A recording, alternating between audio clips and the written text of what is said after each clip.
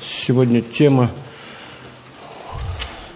которая тоже нам близко и которая всегда нас волнует, ну, о влиянии на детей, на наших.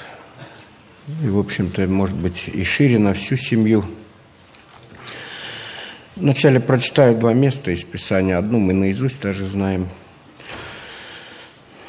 Книга «Бытие», 18 глава, 18-19 стих. Первое место «Бытие» – это Ветхий Завет, 18 глава, 18-19 стихи.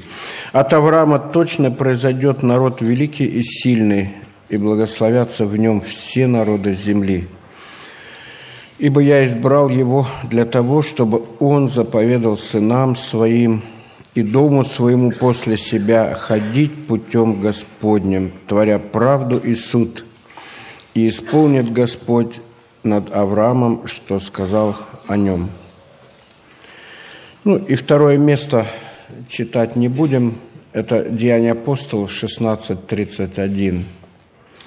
«Веруй в Господа Иисуса Христа, и спасешься ты и весь дом твой». Думаю, этот стих мы ну, хорошо знаем, хорошо знаем наизусть.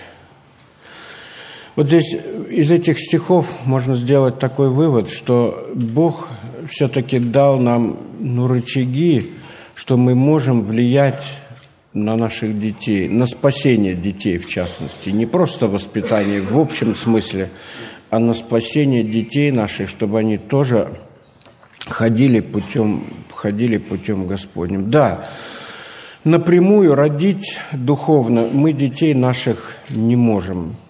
Сперджин, по-моему, так сказал, у Бога внуков нету. Или как люди иногда говорят, я в какой вере родился, в такой и умру. Так, таких мыслей в Библии нету. То есть наши дети при всей, может быть, нашей богобоязненности автоматически возрожденными они не рождаются. Думаю, это мы понимаем однозначно. Но сказать, что я ничего не могу делать, чтобы мои дети пришли к Богу, ну, в Библии мы тоже не находим. Сказать, что мы все можем или все зависит от нас, тоже будет неправильно. Тоже неправильно. Но все-таки многое мы можем делать. И так хотелось сегодня и посмотреть, что мы можем делать, чтобы в этом как-то нам и подвязаться – за Иоанна Крестителя даже написано, может быть, несколько, ну, такое место необычное. Он исполнился Духа Святого еще в чреве матери. Да? Но думаю, здесь мысль тоже та, что еще не родившись, он уже вот это доброе родительское влияние, он уже его испытывал. Дух Святой уже мог над ним работать, когда он даже еще не родился. Думаю, братья, это для нас тоже ну, какой-то урок, что Дух Святой уже тогда может работать, когда даже дети еще не родились. Они уже тогда могут исполняться Духом Святым. А могут исполняться духом ропота, духом недовольства. Если папа с мамой недовольны, уже тогда он может исполняться этим духом.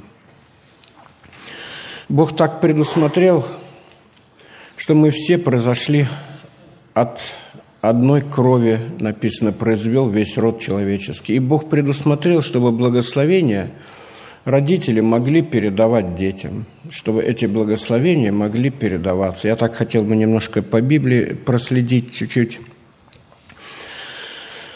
Исаак Иакову. Вот в этом, между этими поколениями как-то особо эта линия просматривается. Иаков при всей своей хитрости, может быть, и некоторых таких неположительных качествах, но одно было очень положительное. Он всем сердцем, всеми своими мыслями искал благословения. Ну, только в книге «Бытие» можно найти четыре случая, когда он получал благословение. Первый раз хитростью, второй раз, когда он отправился из дома, Исаак его благословил – Третий раз Бог его благословил, когда он видит сон, когда ангелы спускаются и поднимаются по лестнице. Ну и четвертый раз Там, может быть, прямо не написано, но оно вытекает, что он и там получил благословение. Когда он говорил, не отпущу тебя, доколе не благословишь меня. То есть он настолько понимал, что он зависит от благословения, от благословения родительского. И что потом интересно, с какой щедростью Иаков мог их раздавать потом. Он их раздает фараону. Иаков благословляет, пастух благословляет фараона. Эта картина вообще удивительнейшая. Для того, чтобы принять благословение фараону, ну, мы понимаем, что с трона царского надо было сойти ему, да? Ну и, наверное, встать на колени все-таки. Стоя вряд ли, вряд ли получилось бы. И он принял. И что интересно, так рассуждал, ну, может быть, это мои личные рассуждения. Думаю, Египет тысячелетия пользовался этим благословением. Удивительная страна. Стала слабая, стала небольшая, но существует до сих пор и пользуется благословением. Может быть, какая-то часть от Иакова. Фараон, который не знал Господа, он погубил практически Египет, а Бог не погубил. Бог говорит, народ мой, египтяне, да, Авраам раздавал эти благословения. Раздавал благословения детям своим – вот такой хороший пример мы находим, как благословения они передавались. Давид Соломону. Соломон, когда воцарился, когда Бог ему явился, он интересные слова говорит. «Ты сотворил отцу моему Давиду великую милость, что поставил меня на место отца моего Давида». То есть Соломон очень ясно понимал, кому он обязан, что он находится на царском престоле. «Ты сотворил Давиду, отцу моего, великую милость». То есть Соломон пользовался благословениями Давида. Он ими пользовался. Ну и последний еще пример хотел привести. Халев, тоже человек, который в жизни своей много благословений имел. И вот у дочери настало время выходить замуж – и она говорит, отцу, дай мне благословение. И написано, отец дал ей. Братья, у нас тоже настанут такие моменты. Может быть, дети наши вслух нам не скажут, папа, дай мне благословение. Да, я не думаю, что все дети вслух вот так скажут, как эта дочь. Но такой момент обязательно настанет. Такой момент обязательно настанет. И что? И что мы сможем дать, что сможем дать. И как хорошо, когда у нас будет что дать, как у Иакова. Он сам всю жизнь собирал в молодости и в средние года, а в старости было что дать. Удивляешься, когда читаешь его благословение детям, Рувим, ты бушевал, как вода, ты не будешь первенствовать. Какая смелость вот такому взрослому сыну, так сказать. Симеон и Левий, орудие жестокости, мечи их, да не войдет в совет ваш душа моя. Это надо смелым быть. Я не думаю, что каждый отец так скажет своим взрослым детям. Но это была правда, это была истина, за этим стоял Бог. И поэтому никаких обид между детьми потом не возникло. Иуда, ну тебе скипетр принадлежит. Иосиф – отрасль плодоносного дерева. Гад – на помощь Твою надеюсь, Господи. То есть не знал, что сказать. Читаешь и удивляешься. И дети, они должны были это воспринять. Они понимали, что Бог говорит. Благословляет внуков своих Иаков. Тоже такая прекрасная картина. Руки крест-накрест ложат. Иосиф говорит, не так, отец мой. А Яков говорит, знаю – как хорошо и как прекрасно, когда в старости дедушка или отец знает, как благословить детей. Братья, думаю, нам к этому стремиться нужно, потому что когда-то этот вопрос, может быть, кто-то уже подошел к этому, а может быть, кто-то уже прошел и не смог дать благословение, а у кого-то еще впереди, чтобы нам, детям нашим, дать благословение, дать им доброе завещание – Ну, еще к этому потом вернемся. Сегодня какие переживания на сегодня? Я так рад, что мы можем с братьями вот так поговорить. Часто мы семейные проводим, родительские, сестерские общения даже. А сегодня есть такая возможность нам с братьями поговорить. Мы вот сейчас за столом как раз вспомнили немножко за Ивана Ивановича Ведель. Кого-то он крестил здесь, меня он сочитывал. Я ничего, в общем-то, не помню из сочетания. Одну фразу я помню. Ты отвечаешь за духовное состояние твоей семьи. Вот эту фразу я 30 лет назад это было, я сейчас ее помню и, наверное, уже и не забуду. И думаю, братья, чтобы нам вот это тоже в сердце своем положить, что я, каждый из нас, мы отвечаем за духовное состояние нашей семьи чтобы нам не перекладывать это на хрупкие плечи жен наших где-то, или, может быть, на детей. Ты уже взрослый, ты сам знаешь, тебе жить. Такие вот слова. Снимаем с себя где-то ответственность, а где-то, может быть, признаем свое банкротство иногда такими словами. А сегодня мы живем в таком мире, где авторитет отца, он всяческий. Сегодня учителей мужчин почти нету. Сегодня, в общем-то, семьи разводятся, и с кем дети остаются? Ну, естественно, с мамой. Поэтому сегодня в этом мире воспитание практически женское. У нас один брат рассказывал, он удивился. Ну, думаю, хорошо, что удивился. Большая семья, трехлетний ребенок заболел рак, а малыш у мамы. И поэтому мама не могла по больнице с предпоследним ездить, была дома, папа поехал, может быть, и не раз, и не два. Ну и вот настал момент операцию делать. Ну, поможет, не поможет, но все-таки врач говорит, нужна роспись, чтобы поставить роспись, что согласие на операцию. Врач говорит, врач, правда, женщина была, говорит, нужна мама. Он говорит, ну а я папа не могу, что ли? Она говорит, нужна мама или бабушка.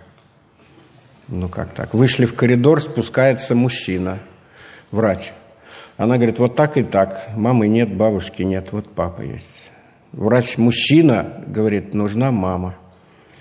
Вот в такое время мы живем, братья. Но это мир. А у нас в церкви не бывает так. Когда серьезные вопросы, нужна мама.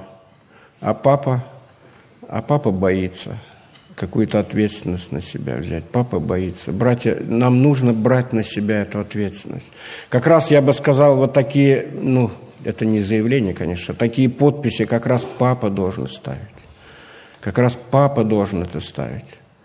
На службу, армию, вот эти вопросы папа должен определять. Много у вас наставников, а мало отцов, да, то есть отец должен эти вопросы определять. Я думаю, и сегодня мы тоже это искушение испытываем. Где-то уйти вот так в сторону. И пусть. И это искушение, оно во все времена было. Меня вот этот стих тоже так, когда рассуждал над этим, этот стих меня тоже вызвал вопрос. Он в Библии дважды встречается. Ну, Матфея, 2 глава, 18 стих, и в Еремии. «Рахиль плачет о детях своих и не хочет утешиться, ибо их нет». Братья, я задался вопросом, а почему Рахиль плачет? Ну, думаю, мы понимаем, что здесь речь идет не о той Рахиле, которая Вениамина родила. Здесь Рахиль – это как собирательный женский образ израильской женщины. Думаю, так мы это понимаем. Здесь в смысле, что женщины Израиля плачут. Я задался вопросом, а где в это время Иаков, где в это время Ефрем? Почему Ефрем не плачет, Иаков не плачет? – Почему Рахиль плачет? Думаю, вот такое же, такое же положение было в народе израильском. Отцы не занимали свое место, и поэтому Рахиле пришлось плакать. Еремия об этом тоже пишет как раз. Обращается к мужьям, они его не слушают. Мы слово твоего не слушаем. А он потом говорит, Рахиль плачет о детях своих. Отцы не слушают Слово Господня, а потом Рахиль будет рассчитываться слезами – будет рассчитываться слезами Рахиль. И это действительно так. И во времена Христа было, мы эти слова часто цитируем, ну и применяем, но Христос говорит, плачьте о себе и о детях ваших. Но если посмотреть, кому Он это говорит, мужьям или женам? Женам. Мы привыкли это всегда применять ко всем. Я согласен, не хочу какое-то, может быть, новое понимание вносить. Согласен, и нам, братьям, нужно где-то плакать, и все. Но часто бывает, что плакать приходится тогда, когда отцы не на месте. Тогда женам приходится плакать. Почему Рахиль плакала во времена когда во времена Христа избивали младенцев. Почему? Да потому что отцы священники были не на месте. Они могли сказать, где должно родиться Христу, но они не могли этому поверить. Если бы в то время священники воспрянули, поверили, приняли бы Иисуса Христа, пошли бы в Вифлеем, вперед волхвов, может быть, думая, что Ирод не побил бы младенцев – жизнь совсем по-другому потекла бы в народе израильском. Один пример мы имеем в Библии такой. Во времена Моисея Рахили не плакали. А кто плакал? Написано «Великий плач» у кого был? Исход 11 глава 6-7 стих. У кого был великий плач? У египтян – не Рахили плакали, Рахилям не надо было плакать. А если бы Моисей сказал, ну пойдем без детей, раз фараон так требует, кто бы плакал? Рахили бы плакали. Это был бы великий плач в Израиле. Выходит Израиль из Египта, а дети остаются в Египте. Это был бы плач великий. Но этого плача не было. Почему? Потому что Моисей сказал, пойдем мы с малолетними нашими – Братья, думаю, чтобы наши жены, ну я в целом, я не имею в виду, может быть, узко семейно так, чтобы нам быть на месте, чтобы нам, с братьям, исполнять волю Божию, и меньше где-то женам нашим придется плакать. Когда у нас будет вот это слово, как у Моисея, пойдем мы с малолетними нашими. Женам никогда не было легко и не будет – я представляю себе вот так подняться ночью, у кого-то детьми, дети маленькие, может быть, кто-то родился только в эту ночь, с квашнями подняться, идти очень нелегко. Может быть, и плакали, но не от безысходности плакали. Это другой плач. Это другой плач. И плакать о детях нам всегда и придется, и женам нашим придется. Но есть разный плач. Есть плач, как у Рахили написано, не может, не хочет утешиться, ибо их нет. Это другой плач. Это не тот плач. А плакать, когда дети наши где-то непослушны, где-то мы переживаем за их будущность, это нормальный плач. Я не об этом хотел сказать. А вот такого безнадежного плача, когда муж или муж в народе Божьем, или муж в семье на месте – Бог с этим считается. И прошло совсем немного времени, фараон призывает Моисея и говорит, пойдите, совершите служение, как говорили вы. То есть все, вопрос кончился. В начале нашего братства тоже Бог дал нашим отцам слово, ну, в нашей церкви, в частности, было так, и думаю, это картина повсеместная. Когда у нас тоже встал вопрос за детей – я это знаю по рассказам, сам не помню этого времени. Когда у нас тоже встал вопрос о детей, когда часть братьев заявили, что мы за ваших детей не хотим сидеть, кто был постарше, у кого дети уже были в мире, а молодые семьи не хотели с этим соглашаться. И вот один брат встал в церкви и сказал, я лучше пойду в тюрьму, но наши дети будут в церкви. Я бы так сказал, это что-то похоже на то, что Моисей сказал – это слово свидетельства, это не просто слова, это слово. И пришлось этому брату и в тюрьму пойти, и не один раз. Но в прошлом году, вот так, из моих ровесников, в прошлом году последний принял крещение. Думаю, как Бог прислушался к этим словам. Как Бог прислушался. Братья, а вот сегодня, как нам найти сегодня, нашему поколению, найти слово и сказать – чтобы наши дети были в церкви. Немножко сложнее сегодня. Как-то мы тоже с братьями рассуждали. Один брат говорит, я себе так это понял. Я должен сказать, я буду ходить на все собрания, но чтобы дети мои были в церкви. Братья, где-то, может быть, и так приходится говорить. Может быть, каждому из нас нужно у Господа вымолить, выпросить это слово, чтобы тоже так сказать. Пусть будет так, но мои дети будут церкви, или наши дети будут в церкви. Братья, Бог это слово дал Моисею, дал нашим братьям, нашим отцам. Думаю, что подобные слова и здесь, в Прокопьевске, кто-то когда-то сказал, и в других городах. Так вот слушаешь, когда очень оно похоже. Но в этом сила как раз. И Бог отвечает, и Бог действует. Да, сестрам нелегко было, и сестры где-то в вузы пошли. И матерям было нелегко в то атеистическое время воспитывать детей. Но слово «братское» оно имеет вес, и с ним считаются. Во-первых, Бог на него отвечает, а где-то и мир, он с этим считается. Чтобы нам сегодня получить слово, которое имело бы вес.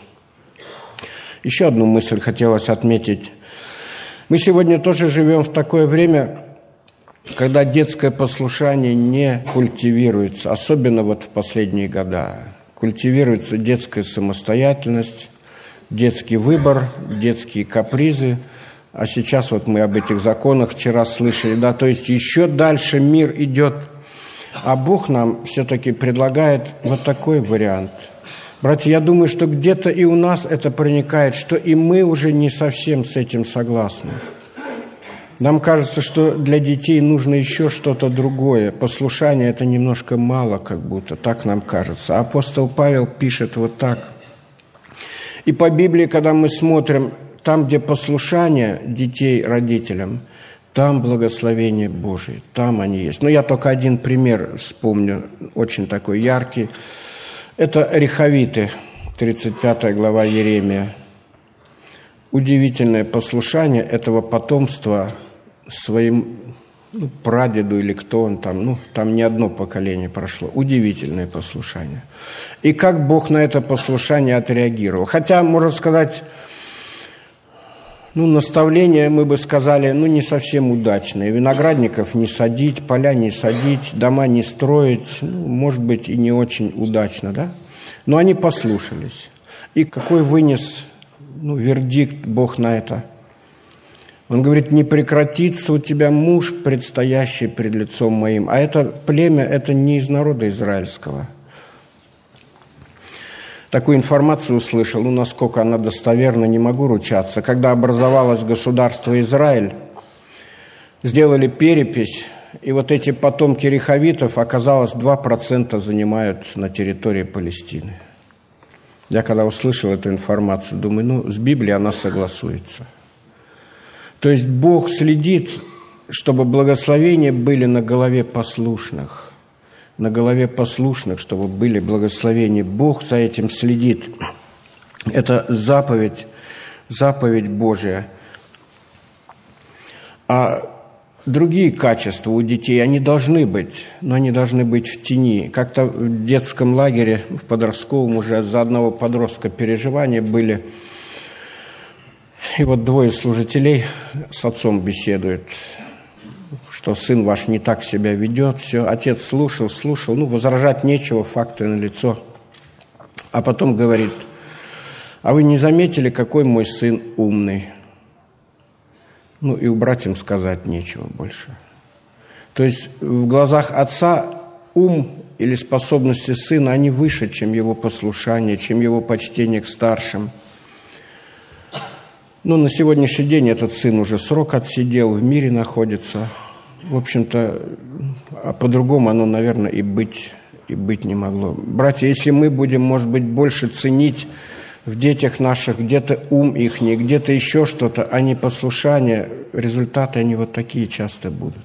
Мир сегодня хочет нас столкнуть на эту почву, а в общем-то, а в общем-то, Самая высшая детская добродетель – это послушание. Я бы здесь еще что отметил. Мы скажем, если дети слишком послушны, они не будут самостоятельными. Да, здесь может быть крайность, когда отец как деспот, ну, это крайний вариант. Я сказал, проблема может быть больше в другом.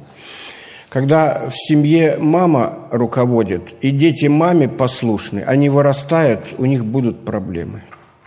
Когда в семье папа глава, дети учатся послушанию отцу, вырастая, у них проблем не будет.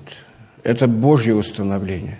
Поэтому, братья, чтобы нам быть главами в семье, если наши дети будут ну, во всех вопросах только маму слушаться, а мы будем в тени, у них, да, у них будут эти проблемы. Поэтому мир к этому идет. Мамы воспитывают детей, у них не хватает самостоятельности, поэтому нужно сегодня детей переводить на самостоятельность. А там, где отцы воспитывают детей, там оно по-другому. Там, когда дети вырастают, вот так наблюдаешь в семьях, очень просто. Женился, вышел из дома, и как было у него дома, только роли поменялись. Так же пошло и дальше. Его слово в семье имеет вес. Братья, а чтобы слово наше имело вес, нам нужно самим бояться Господа. Здесь ну, кулаком по столу не стукнешь.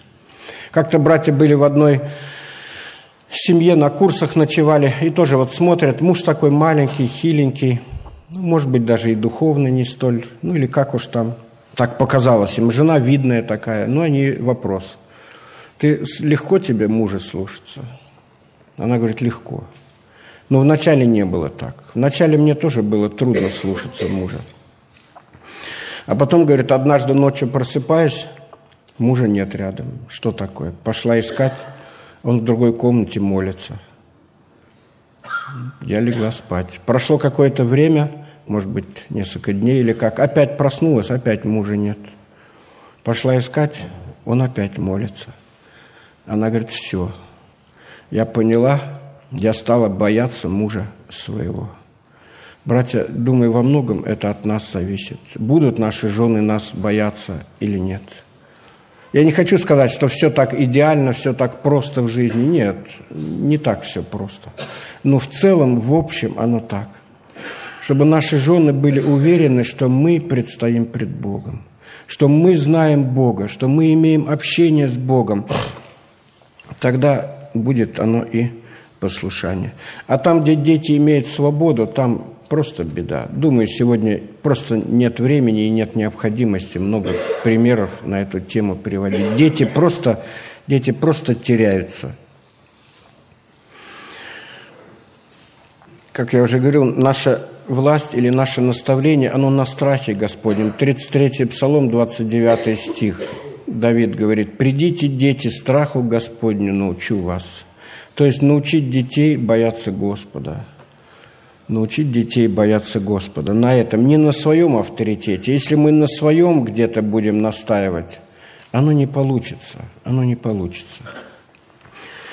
Притча 1.8, там вроде бы этот стих обращен к детям. «Сын мой, не забывай наставления отца твоего и завета матери твоей». Ну, а с другой стороны, этот стих обращен и к нам с вами, братья – Иногда смотришь на некоторых детей и просто жалко. У них нет наставления отца и нет завета матери. Полная свобода в семье. Делают, что кажется справедливым. Нет наставления отца. Спрашиваешь, почему? А я боюсь. Прямо так папа и говорит. А вдруг я не так скажу, чтобы меня потом не обвиняли, уже взрослые дети. Нет наставления отца, нет завета матери – Братья, думаю, чтобы нам вот так с детства детей наших просить у Бога милости, чтобы нам ну, иметь к ним наставление, чтобы у нас было слово для детей наших. Как у Якова было у него слово для детей своих, как другие примеры мы находим, было слово, чтобы мы могли дать наставление детям нашим, могли им сказать. А сегодня в этом мире, ну, в общем-то, оно все по-другому культивируется и где-то входит к нам. Раньше даже в мире, вот евреи, они по-другому воспитывали. По еврейской традиции раньше считалось, что отец обязан ну, воспитать сына, дать ему профессию. То есть это не входило в выбор. Сегодня профессию дети в основном выбирают. В основном дети выбирают. А потом смотришь, трудовая книжка пухнет – он не знает, что ему нужно. За меня профессию родители выбрали, и я ее до сих пор не менял. И мне всегда жалко тех, кто каждый год меняет профессию. Думаю, папа не сказал своего слова, и поэтому, и поэтому каждый год молодые люди меняют и работу, и профессию. Думаю, чтобы нам, братья, как-то иметь здесь дерзновение. Иметь дерзновение. Ну и также дальше. И к труду в церкви приобщать. У евреев они шли еще дальше. В их в обязанность отца входило подыскать жену для сына. Сегодня, может быть, мы скажем, но это невозможно сегодня. Поэтому меня и не удивляет этот стих. Мы иногда удивляемся и говорим, Почему так? Почему этот стих сегодня не работает? «Веруй в Господа Иисуса Христа, и спасешься ты и весь дом твой». А сегодня жены могут сказать «я не хочу», дети говорят «я не хочу», потому что наши устои семейные где-то другие. А если вот так ну, учесть это, что в еврейской семье было так во времена апостола Павла, если отец определял даже такие моменты в жизни своих детей, то и неудивительно, что если отец каялся – что дети повторяли то же самое. Дети повторяли то же самое. Я не хочу сегодня, чтобы мы какие-то семейные традиции наши ломали. Нет. Просто немножко обратить внимание на то, что хочет от нас Господь, чтобы нам больше подставить свои плечи. Не то, чтобы нам теперь приехать домой и сказать, отныне у нас будет вот так или так. Как-то один ну, он даже отчим, он в эту семью позже вошел, жалуется мне, говорит, вот дочери не слушаются там, а дочерям уже за 20. Я его послушал, послушал. Я говорю, если ты так будешь поступать, то ты в этой семье вообще все потеряешь. Лучше немножко поскромнее себя веди. Да, где-то бывает, может быть, и так. Ну, а в целом, в целом все-таки, братья, чтобы нам понимать, что Бог стоит за нашим наставлением. И Бог будет их подтверждать, Бог будет это подчеркивать. Ну, может быть, я не подробно расскажу. В одной семье тоже отец определил профессии детям, не буду подробно рассказывать. Двое сыновей послушались, и они сегодня в этой профессии работают, и неплохо. Третий пошел своими путями. Его уже дважды отлучали от церкви. Трудная жизнь такая. И думаю, вот как просто – Думаешь, откуда папа знал, что вот эти профессии, они и в годы кризиса будут востребованы? Откуда папа это знал? Да ниоткуда не знал. Просто папа взял это дерзновение, вымолил у Господа, а Бог поставил свою печать, а Бог поставил свое. Братья, чтобы нам не уклоняться от наших обязанностей и не бояться, чтобы у наших детей было наставление – вот я уже упоминал этих людей, Иакова и Езекию. Иакову было что сказать своим детям. А Езекий не смог сделать завещание дому своему. Так он его и не смог. Как там в его семье подробно нам не написано, но факт тот, что завещание детям своим он не смог, не смог сделать. А написано, добрый человек оставит наследство и и внукам своим, оставят наследство и внукам своим. Это не значит, что материальное, нет. Многим из нас, может быть, сильно и нечего оставить наследство внукам своим. Жена моя часто дома в руках держит, читает «Сибирские Нивы», где за Бориса Яковлевича написано. Я говорю, ты же наизусть ее знаешь, этот номер. Она говорит, мне приятно вспоминать свое детство – и думаю, как хорошо, когда вот такое доброе наследство где-то детям нашим мы оставили, оставили нашим детям. Она позаботилась, чтобы детям своим этот журнал где-то его размножила, раздала. Думаю, вот такое доброе наследство хорошо, когда мы можем оставить нашим детям. Доброе наследство, что мой папа, моя мама – или мой дедушка любил Господа. Это бесценное наследство. Да, мы можем не оставить, может быть, большого имения, большого богатства, но моя мама или мой папа действительно любил Господа. Вот это наследство, которому нет цены, братья, чтобы нам это передать. Ну, еще немножко время у нас есть, еще дальше. Домашняя церковь.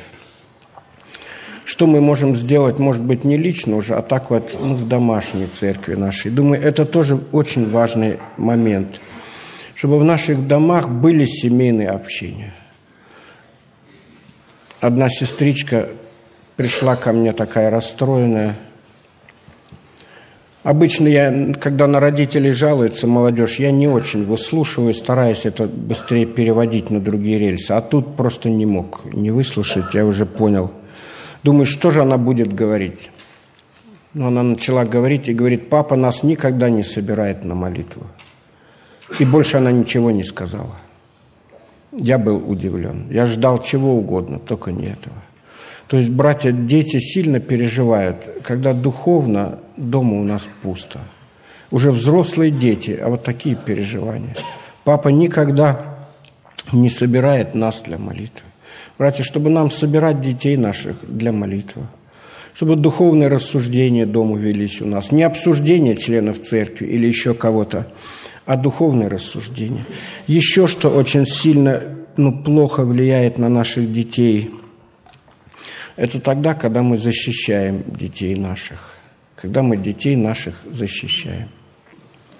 Когда где-то нашим детям сделали в церкви замечание, они приходят с этим замечанием домой, а мы, а мы их защищаем. Братья мои, у нас будут, наши дети будут трудно идти в церковь. Сколько наблюдаешь за этим, когда дети трудно идут в церковь, очень часто, очень часто причина в том, что в этой семье дети были защищаемы. За одну семью слышал такую характеристику. Он к своим детям относится строже, чем к другим. Старшая дочь 16 лет приняла крещение, следующая дочь тоже приняла крещение.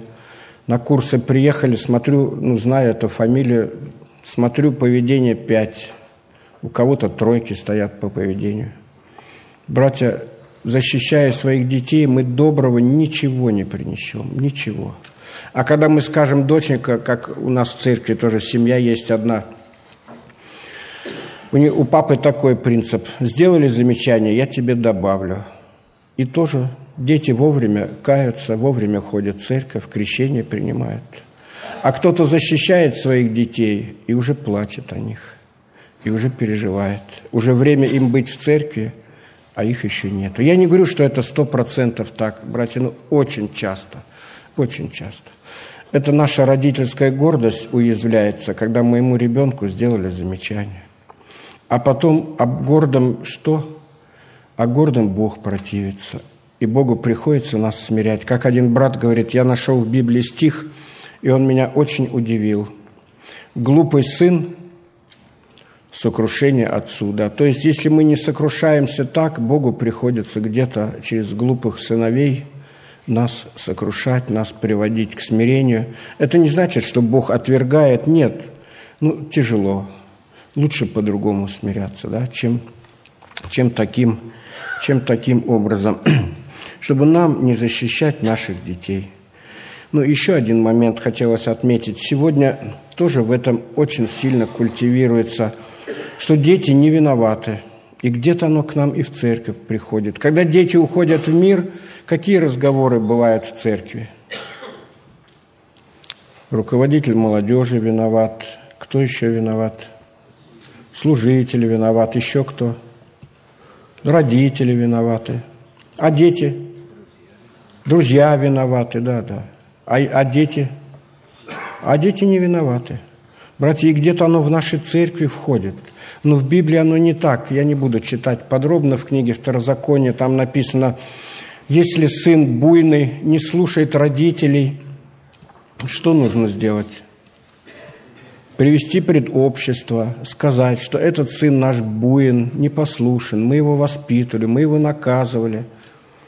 И кто будет виноват? Сын будет виноват. Не написано родителей побейте камнями, а написано сына побейте камнями. Я думаю, сегодня мы где-то ну, немножко в этом сдаем. Я тоже не хочу какие-то традиции менять. Сегодня, если вопрос детей рассматривается в церкви, тогда родители что? Высылают, да? Мы как-то боимся. А вот здесь, во второзаконии, там тоже членское собрание, там родители не высылали. Там в глазах родителей побивали сына камнями, не высылали родителей. Братья, я думаю, здесь тоже где-то. Я не хочу, конечно, ну, как-то, может быть, слишком так говорить, но думаю, где-то где мы немножко перекладываем вину на всех а дети, а дети не виноваты. И они это чувствуют, и поэтому где-то ведут себя дерзко и буйно. Они это чувствуют, что виноват все равно будет служитель, виноват будет предверник, который в доме молитвы, виновата будет папа с мамой, а я виноват не буду. И трудно каяться таким детям. А когда они понимают, что они виноваты, что в 16 лет он уже перед Богом будет отвечать, и что он виноват за свое дерзкое поведение. Ему намного легче будет каяться. Братья, в этом нам тоже против течения этого мира приходится плыть, и придется, и придется плыть. И содержать детей в послушании сегодня нигде в мире мы поддержку не найдем. И в том, что дети наши виноваты. Вот эта ювенальная юстиция, там тоже мысль именно такая – в какой-то мере насаждается, что дети не должны чувствовать, ну, испытывать чувство вины. Даже сегодняшняя психология, она во многом как нацелена. Человек приходит к психологу с чувством вины, то есть со своими переживаниями, с депрессией, как мы вчера слышали. И психолог, какие методы у него? Чтобы эту вину как-то или уменьшить, или, или переложить на других. Но ни в коем случае ну, не, не обозначить и не попросить прощения у Бога. Вот, вот такое сегодня положение в мире.